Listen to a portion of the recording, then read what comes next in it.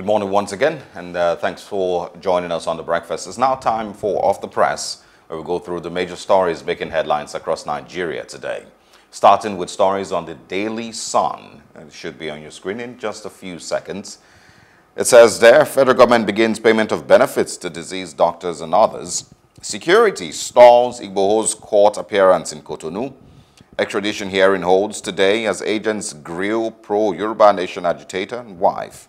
Also, Buhari's failure um, is the cause of his agitation, says Afenifere. NNPC spends 274 billion naira on petrol subsidy in five months. And also, death toll in terror attacks rises to 3,100 in three months. Benue, Zamfara, Borno, Kaduna top chart. Time for political leaders to partner church on insecurity, says Pastor Kumuyi. Um, one or two others, uh, in Enugu, gunmen killed three policemen and civilian in Enugu checkpoint attacks. Um, I think that's uh, we all we will quickly share. Well, uh, Anambra gubernatorial Ohanaeze never endorsed any candidate, says the president. On the Punch newspaper, COVID-19 tests and stops in 13 states. Delta variant hitting unvaccinated Nigerians. Also about COVID-19, that virus wiped off of $5 billion diaspora remittances, says federal government. The federal government tells court we've not stopped Nigerians from using Twitter. Cooking gas price soars to 500 naira per kg, retailers consumers lament. And uh, don't assent PIB, fresh hostilities loom in Niger Delta, says Dickson. Baptist contracts uh, contacts chapters over ransom for Kaduna Bethel students. 10 Ogun communities threaten LG pole boycott over road destroyed by dredgers.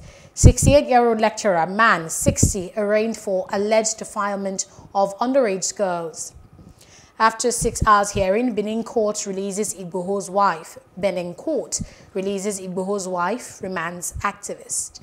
Uh, those are the ones we're taking on the Punch newspaper.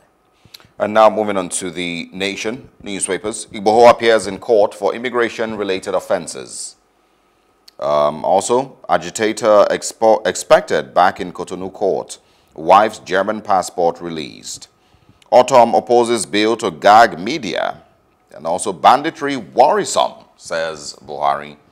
Gunmen in police uniform kill five cops at checkpoint. Uh, also on the Nation this morning. Uh, uh, council poll, Lagos government restricts movement. Only 1.7% of 3.7 billion vaccines administered in Africa and 40 refinery licenses not in use. That's also on the Nation newspapers this morning. Uh, I think I can squeeze in one in. Military won't condone violent secession agitation. CDS warns. Those are the big ones on the nation. Let's quickly look at the Daily Trust. Uh, cholera here is making the headlines. Uh, cholera kills 325, afflicts 14,343 in six months. And the death toll rises as outbreak spreads to more states. APC says we won't impose presidential candidates for 2023. Military says it's not our duty to stop agitations. And uh, we'll also see this one saying federal government fails to file extradition charges as Benin courts remands Igboho. Let's say good morning to our guest, Chief Lecturer, Nigerian Institute of Journalism, Mr. Jide Johnson. Good morning. Thank you for joining us. Good morning, and it's a pleasure to be to be with you. Thank God it's Friday. Um, once again, yeah, we bless the name of the Lord for keeping us till this day. And um, it's Friday, like you said. Thank God it's Friday. Let's start with the issue of Igboho and where we see um, where a nation, someone was arrested on immigration charges based on what was presented before the court and he has appeared before the court. The judicial process is taking place, rule of law is in place, and we are seeing exchanges, and we have seen that the wife has been released um, from by, by the court and his passport has been released back to her. Uh, bring that Let's play that scenario in Nigeria. Let's look at the El-Zakzaky issue in, in Kaduna. His wife and himself still in custody till date. We don't know when the next court appearances uh, will be. And um, situate that with Nnamdi Kanu. We don't even know the facts of the case. Like I said, last week until we get to the court. When we get to the court, the issue is no longer in the hand of the government. It's now left for the judicial processes, and the judicial processes will take its due course. It's left, the burden of proof lies with the prosecution, which happens to be the government against whoever is the accused. And that tells you that the state of rule of law in Nigeria and the state of rule of law in the Republic of Benin it's about it's about it's about it's about process. If someone is adjudged not guilty of him, it's proven by law of competent jurisdiction, and that's our a normal society. That's our a democratic society. That's our a sovereign nation and a nation that operates within the ambit of the rule of law and fundamental human rights of the citizenry. That's the way it When people talk about the rule of law, there are three fundamental principles that govern the rule of law. And just for us to just explain, so that some of our viewers it's about the supremacy of the Constitution. That the Constitution is the supreme organ in any given state. It talks about the fundamental human right of, of, of, of, of, of, of people and then equality before the law. Everybody being treated as, as equal. There's nobody that is above above the So these are the tenets of a principle of democracy, a principle of rule of law as advocated by Professor Dicey So once those are not in place, you can't call yourself to be democratic a democratic society. You can't call yourself to be a viral, um, egalitarian and society whereby people have respect for rule of law. Um, hopefully, the courts will, will rule, will restitute what happened with Sunday Igboho and with what happened um, with um, Nnamdi. You see that their contract, their polls, their polls, their polls apart. Let's wait as this begins to, to unfold and then we can draw which comparison and we can take some lessons that we can learn from it in about how to go about effecting arrest and, mm. and, and enforcing our laws within our country and even outside the borders of our country and by following due process and common commonsensical approach to getting to getting things to getting things done. If you read that story to what the chief uh, the chief of defense staff said that it's not the responsibility of the military, which is based on the story you read in the Daily Trust. Yes, to stop agitations. Is to, to stop agitation. Agitation is a key component part of democratic society. That it's it's look the right of freedom of association and freedom of expression, freedom of expression and freedom of association has given me the right to protest if I don't feel if I feel aggrieved about anything. I can go to the floor of the National Assembly. I can go to the front of people protest in front of White House. People protest in front of the Congress in the United States of America. We even saw someone that was aggrieved that slapped, he took it to the extreme, that slapped the French president. He was not shot at. In actual sense, the president sent for him and asked him, Why did you slap me in the first instance? And the guy told him it was not premeditated. As I was, as you were just approaching me, I felt aggrieved about your policies and program. And, and the court process took its due course. The guy was prosecuted through the court. The president of France did not intervene. The state security did not intervene. He was prosecuted and he was sent to, to, to, to jail to face the consequences of his action, his act of aggression and criminality. So agitation does not support criminality, it does not support aggression. But everyone, for a democratic society to be viral, everyone must have a right to have his say. And that's the beauty of democracy. Now, let's relate that story with another story uh, with NNPC. NNPC saying that the, the subsidized petroleum product with over 245 billion in six months. Who are they deceiving? Are they deceiving themselves or they are deceiving us? We've been told over and over time, all we just need to do is to do content analysis of newspaper report in the last 20 years and look at the issue of petroleum subsidy and then we know who is deceiving who. That they subsidized petroleum product for 245 billion in six months. And then there's another story in Daily Trust that for 40 refineries are not, licenses have been granted for people to start refinery and 40 licenses have been granted. And, hmm, licenses have granted. Out of those licenses granted, 40 are not in use one, two, three to forty are not used. And what are they doing? So we will know that there's a systematic attempt to prevent refineries from running in Nigeria so that people that claim to be spending subsidy of petroleum product in Nigeria will continue to cash out and cash in on Nigerians because all of us have gone asleep and they are the ones that are awake, like a typical popular song in Nigeria. So they are taking advantage of Nigerians out of our sheer ignorance. Who is subsidizing who? Relate that story to the price of uh, of cooking gas. You said the price of cooking gas has gone up to 500 naira per kg. So where is the subsidy? I'm asking, where is the subsidy? Okay, right. Mr. Jide Johnson, let's go to the Punch newspaper. There's a story here on the Punch that says, uh, that reads, we've not stopped Nigerians from using Twitter federal government tells court. Now, this was because a lawyer, um, Inibehe Effiong, you know, took this matter to court saying it was a breach of human rights for the federal government to stop Nigerians from expressing their freedom um, you know, on social media. But um, the Attorney General of the Federation, Abubakar Malami, went on to sign an affidavit to say that they had not stopped Nigerians from using social media and that, in fact, many Nigerians are still using it.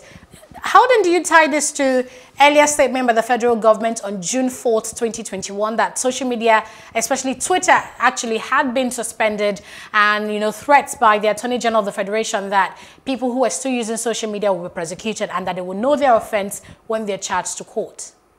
You see, you test the decisions and actions of government under the constitutionality of the law of your federation.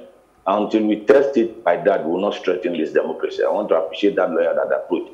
Some of us have advocated that government does not have the right, it's not within the ambit of any. Section 22 of 1999 Constitution as amended, and Section 36 of 1999 Constitution as amended, provided for you to use any platform to give expression to your thoughts. And the, under the under even under the fundamental human rights, the freedom of expression of your thought is there. So until the actions of government are challenged by court, and that's why we are missing the likes of Gani Fawehinmi in this present democratic experience. You think that you had gotten, and I hope that space is being filled by this by this young lawyer that is taking government to court concerning even on the issue of electronic voting. You remember I said it that if you take it to court, the federal government, the government will lose because there's no law you can make that is not any law that you make, any bill that you pass that is inconsistent with the constitution will be rendered null and void. So we need to approach the court. You could see that government knew, the attorney general knew that it was an illegal pronouncement, and the fact that the pronouncement is made by a minister, or that the fact that the pronouncement is made by a minister or the attorney,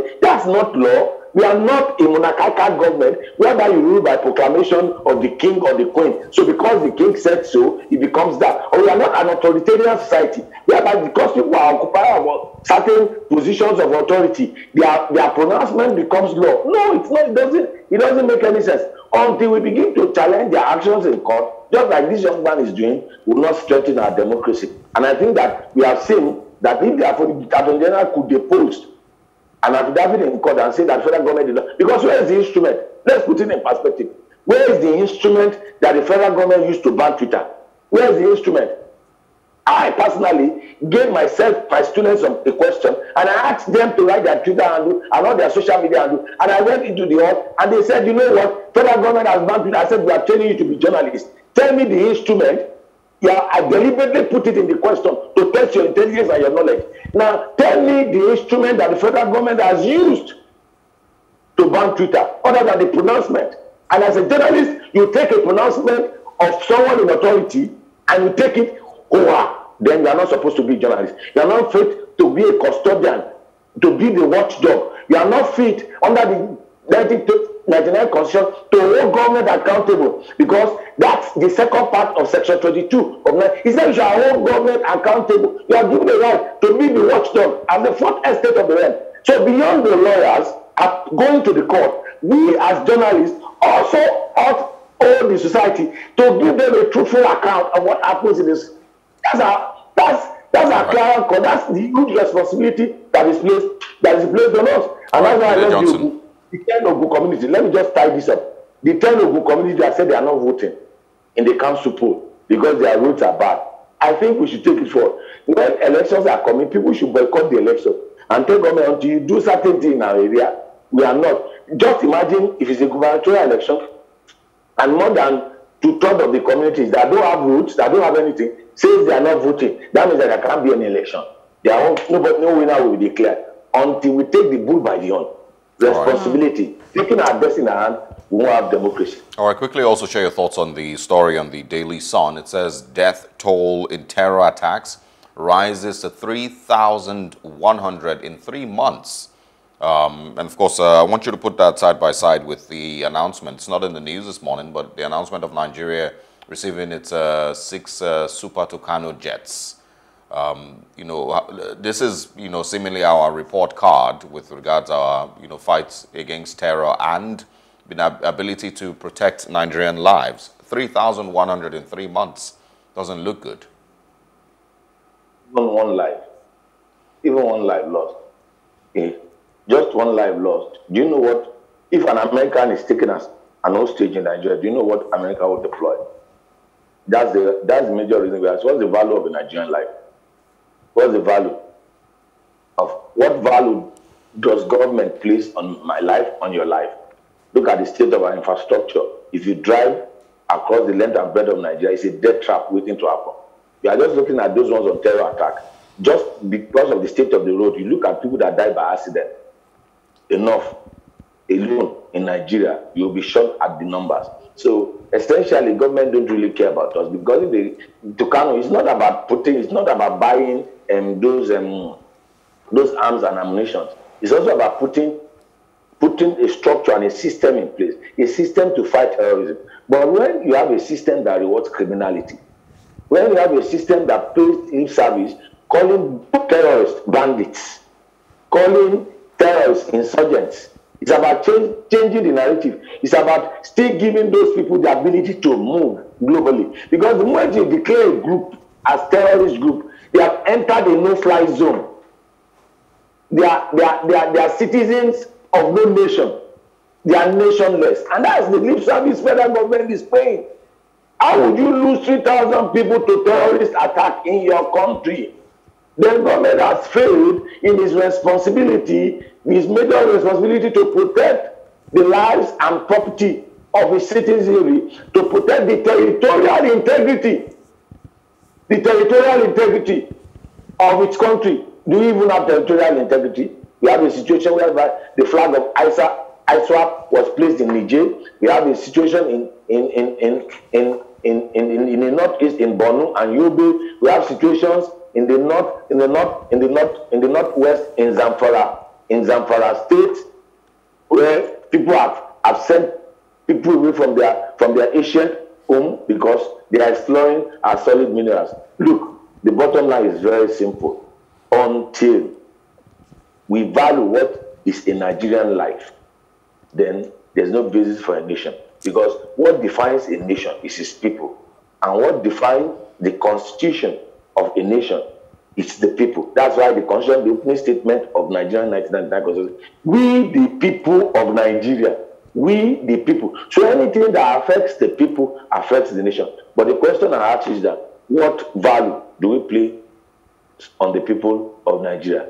our health sector, our educational sector, our infrastructure, our lives, even people that we elect in office, if we are going out now, they will use siren to pursue us out of the road. If it rains now, everywhere is flooded.